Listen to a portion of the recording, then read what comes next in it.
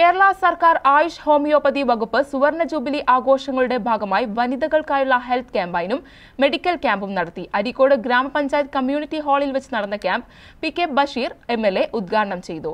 ചടങ്ങിൽ Areekode block panchayat president Rukkiya Shamsu അധ്യക്ഷത വഹിച്ചു. Medical officer doctor Afna K ബോധവൽക്കരണ ക്ലാസ് നടത്തി.